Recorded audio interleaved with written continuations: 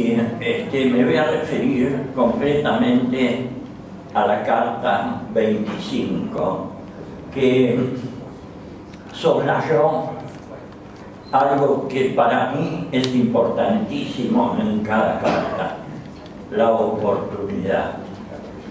Eh, nuestras cartas surgen casi, diría, este, en forma,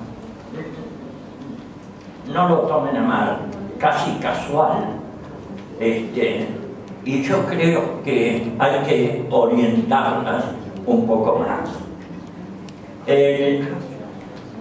la carta 25 salió justo con la prisión de Lula.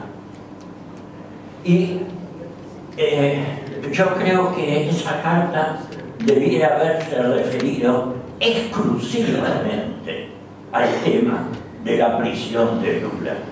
Porque la prisión de Lula es la prisión de todos nosotros. La prisión de Lula se remonta a los viejos manchesterianos que decía este, nuestro querido Arturo Jaureche. Son los que quieren eliminar toda posibilidad de independencia económica. Nos quieren hacer seguir siendo los graneros del mundo. Y no somos los graneros del mundo, somos mucho más que eso. Somos los argentinos capaces de forjar nuestro, este, nuestro destino en concomitancia con todos los países de esta, de esta región. El Parnasur, la CELAC, el Mercosur, los están destruyendo. Macri los está destruyendo. Directamente no le interesa que la Argentina levante su cabeza. Ellos no vinieron a ganar plata, vinieron a hacerse dueños del país.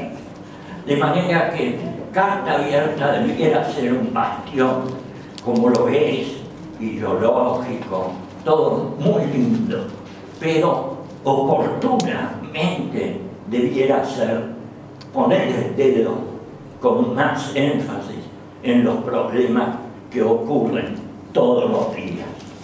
Hoy el tema de este, el aborto podría ser frente a todas estas cosas un problema menor, un problema menor.